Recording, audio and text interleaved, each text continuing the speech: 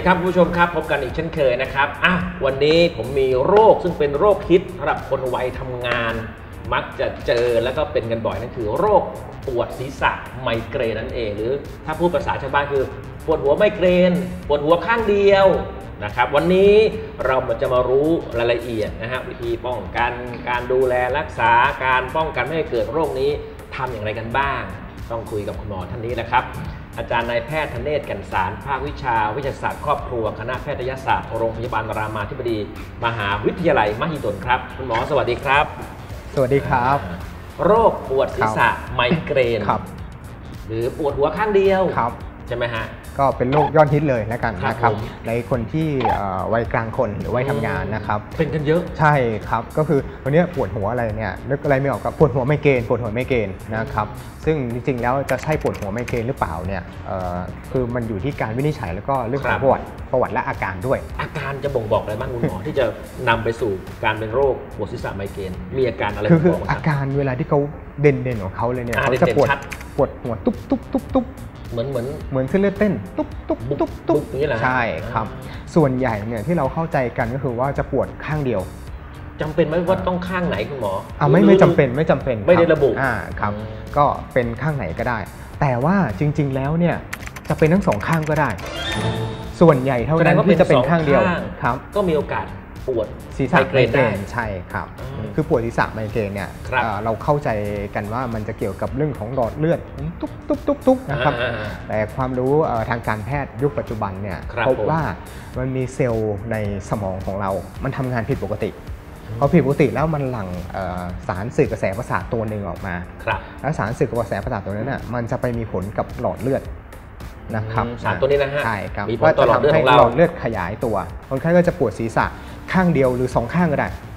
ปวดเด่นๆของเขาก็คือปวดตุ๊บตุ๊บตุ๊บตุ๊บตุ๊บตุ๊บตุ๊บอ่าปวดมากขึ้นมากขึ้นมากขึ้นเรื่อยๆนะครับอ่าปวดข้างเดียวสองข้าง แล้วส่วนใหญ่แล้วปวดเป็นเวลานานค่อยๆ เพิ่มเวลาปุ๊บปุ๊บปุ๊บปุ๊บปุ๊บปุ๊บคุณหมอถ้าปวดแบบครับนี้ขอขออนุญาตทานครับยาแก้ปวดทั่วไปมักจะไม่หายเหรอครับอ่า เวลาที่ทานยาแก้ปวดเนี่ยเขามีเคล็ดลับว่าจะต้องทานตอนเริ่มปวดก็จะได้ผลดี แต่ถ้าบางคนเนี่ยไปทนทิ้งไว้นานแล้วมาทานเนี่ยเอ่อยาแก้ปวดก็ไม่ค่อยจะตอบสนองเท่าไหร่นะครับอืมแต่ว่าไอ้ที่ปวดตุ๊บตุ๊บตุ๊บนี่นะเราบอกเป็นไมเกรนนะจริงๆ ไมเกรนบางบางคนผู้ป่วยบางคนนะก็ไม่ได้ปวดตุ๊บตุ๊บก็มี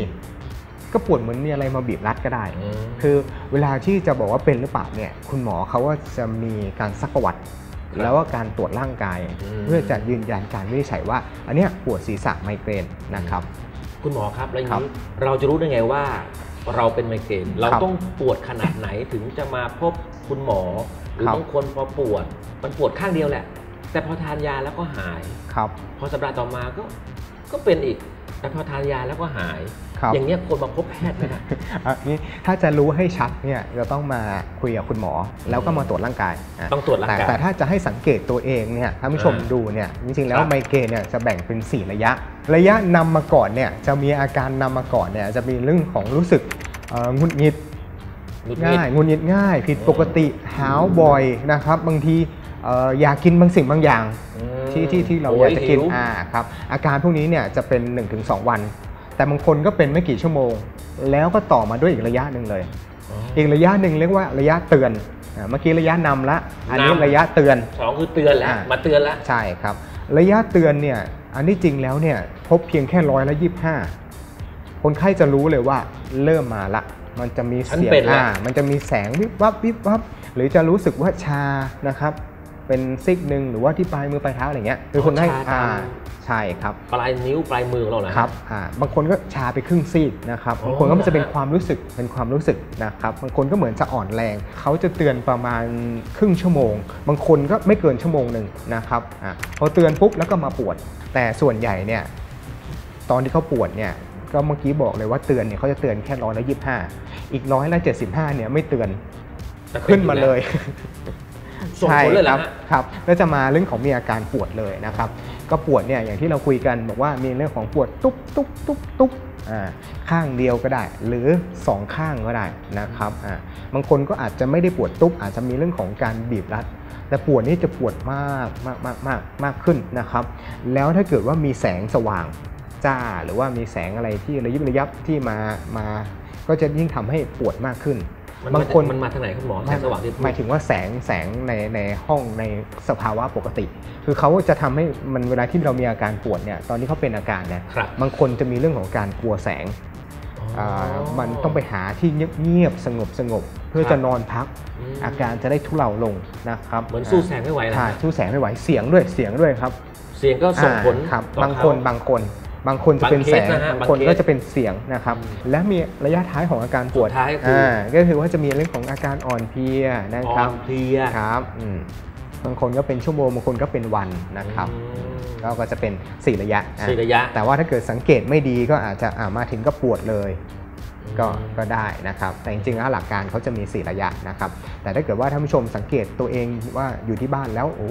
ปวดบ่อยเหลือเกินครับแล้วปวดเนี่ยตุ๊บตุ๊บตุ๊บตุ๊บตุ๊บโอ้โหแสงเจอแสงจ้าๆเจอเสียงก็ยิ่งปวดมากขึ้นอย่างเงี้ยต้องไปอยู่ที่เงียบๆมืดๆเพื่อจะให้แบบอาการแบบปวดทุเลาลง อันนี้ให้สงสัยนะครับว่าจะเป็นเรื่องของอาการปวดศีรษะไมเกรนนะครับแต่การวินิจฉัยที่แน่นอนเนี่ยแนะนำว่ามาพบคุณหมอ นะครับ เพื่อจะได้วินิจฉัยแล้วก็รักษาอย่างถูกต้องด้วยนะครับคุณหมอโรคนี้มันมันสามารถหายขาดไหมอืมจริงๆ โรคนี้เนี่ยต้องถามก่อนว่าสาเหตุจริงๆ แล้วมันมาจากเอ่อมีสิ่งบางอย่างไปกระตุ้นอ่าแล้วทำให้มีเรื่องของอาการปวดศีรษะอ่าครับจะหายไม่หายนั่นคือเราจัดการเรื่องของสิ่งกระตุ้นได้ไหมนะคแล้รับวสิ่งที่อยู่รอบข้างเราใชเนี่ยนะ่ที่กระตุ้นที่เจอบ่อยในวันวัยทำงานเลยนะครับ ความเครียด เครียดจากหัวหน้างาน อ่าเรามีงาน เครียดกับเพื่อนร่วมงาน เรามีข้อมูลคนรันะกครับ เรามีข้อมูลที่ที่เก็บข้อมูลไว้นะครับครับจากงานวิจัยว่าอืมเอ่อสาเหตุอะไรบ้างที่กระตุ้นทำให้เกิดคนเกิดอาการปวดศีรษะไมเกรนนะครับร้อยละ80นี่เกิดจากความเครียดครับ นะครับอะและอีกอันหนึงก็เป็นเรื่องของฮอร์โมนเพศหญิงอะ จะเห็นว่าเพศหญิงเนี่ยจะปวดศีรษะเนี่ยมากกว่าเพศชายนะครับก็จะเกี่ยวกับเรื่องของฮอร์โมน ไม่ว่าจะเป็นประจำเดือนนะคครัรับบหรือเอ่อเกี่ยวกับอ่าความเป็นผู้หญิงนะครับอืมแล้วก็จะมีเรื่องของอาเกี่ยวกับบางทีอดอาหารอ่าผู้หญิงนะฮะกินข้าวไม่ตรงเวลาไม่ไม่เกี่ยวผู้หญิงอะผู้หญิงผู้ชายอยากผอมได้ไหมผู้หญิงอะไม่เกี่ยวกันส่ไหมบางทีแบบกินข้าวไม่ตรงเวลาอากาศที่เปลี่ยน ก็มีผลจากอยู่ในห้องแอร์เดินออกไปที่ร้อนๆอย่างเงี้ยครับอ๋อก็มีผลวูบวาบนะฮะโดยเฉพาะอากาศร้อนนะครับ ก็ทำให้เกิดได้นะครับครับ บางทีก็เป็นอาหารบางชนิดอือฮึครับอ่าบางคนกินช็อกโกแลตไปกระตุ้นให้ปวดศีรษะเอาอย่างนี้ก็มีนะครับอ๋อดื่มแอลกอฮอล์กระตุ้นก็มีนะครับอืมแต่หลักๆที่เจอบ่อยในวัยทำงานคือความเครียดนะครับเอ้ยอีกอันหนึ่งคือพักผ่อนไม่เพียงพอด้วยครับ พักผ่อนน้อยครับอืมพักผ่อนน้อยนอนน้อยนะครับ นอนไม่หลับ คุณหมอรับถ้าพูดถึงระดับความน่ากลัวเนี่ย ในยุคของวัยทำงานเนี่ยมันถือว่าเป็นโรคที่น่ากลัวไหม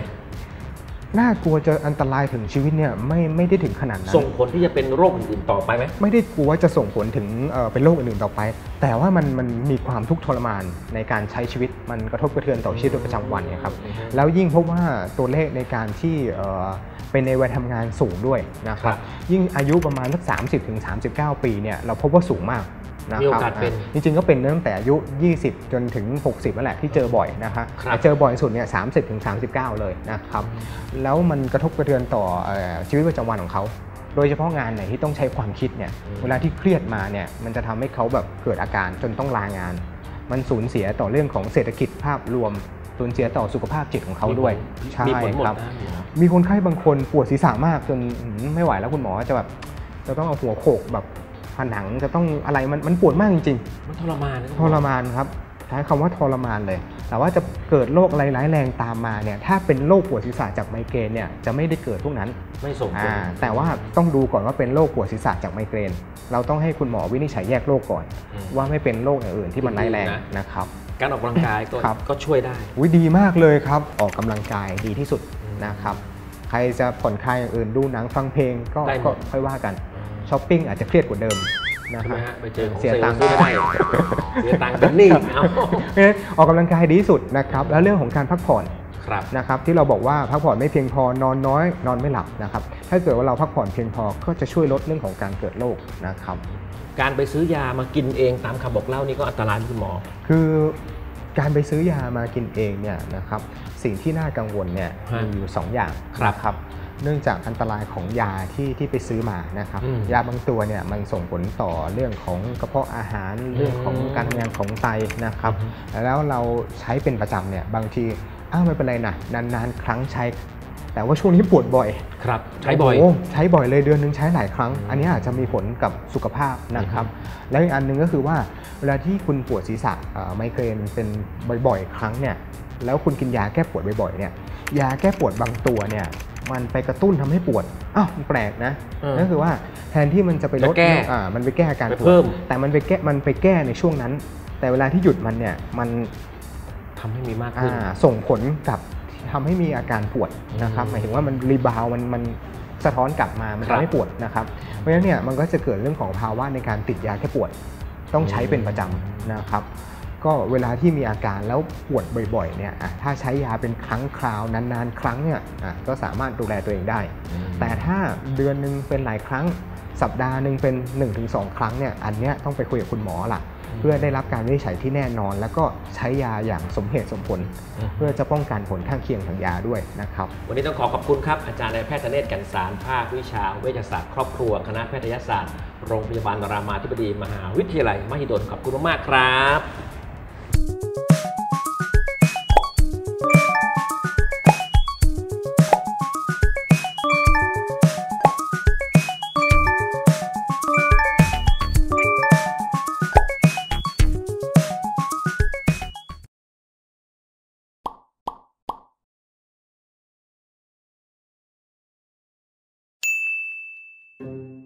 ปวดหัวไมเกรนทำไมจะต้องปวดศีรษะด้านเดียว การปวดหัวไมเกรน เกิดจากการที่เยื่อหุ้มสมองได้รับการกระตุ้นบางอย่าง ส่งมาที่สมอง โดยมีสารในสมองชื่อว่าเซโรโทนิน ซึ่งเป็นนกลไกหนึ่ง ที่ทำให้หลอดเลือดเกิดอาการขยับตัว และโป่งพองออก ส่งผลให้ปวดหัวตุบตุบตุบตุบตามจังหวะการเต้นของชีพจรทำให้เกิดอาการปวดศีรษะอย่างรุนแรง โดยมักปวดศีรษะข้างเดียว ปวดหัวไมเกรนมักจะเกิดในวัยเด็ก วัยรุ่น หรือวัยผู้ใหญ่ระยะแรก โรคปวดหัวไมเกรนไม่สามารถรักษาให้หายขาดได้ แต่สามารถลดความถี่ หรือป้องกันไม่ให้เกิดอาการปวดศีรษะได้ การรักษาด้วยการใช้ยา จะมียาหลายชนิด โดยเราแบ่งยาออกได้เป็น 2 กลุ่ม 1. ยาบรรเทาอาการปวดศีรษะ ซึ่งสามารถใช้รักษาอาการปวดแบบเฉียบพลัน และใช้เฉพาะเมื่อมีอาการในช่วงอาการปวดศีรษะไมเกรนเท่านั้น 2. ยาสำหรับใช้ป้องกัน ยาประเภทนี้ ผู้ป่วยจำเป็นต้องรับประทานอย่างสม่ำเสมอเป็นประจำทุกวัน ซึ่งจะช่วยลดความรุนแรง หรือความถี่ของอาการปวดหัวไมเกรนได้ เราสามารถรักษาอาการปวดหัวไมเกรนเบื้องต้น ง่ายๆ ด้วยตัวเอง อยู่กับบ้านก็สามารถทำได้ แค่ใช้ผ้าขนหนูห่อน้ำแข็ง หรือกระเป๋าใส่น้ำร้อน ประคบในบริเวณที่เกิดอาการปวดหัวไมเกรน จะช่วยบรรเทาความเจ็บปวดที่เกิดขึ้น จากการปวดหัวไมเกรนได้เป็นอย่างดี หรือนวดกดจุด และควรงดอาหารบางชนิด เช่น นมวัว เนย ชีส ช็อกโกแลตถั่วลิสง เครื่องดื่มที่มีคาเฟอีน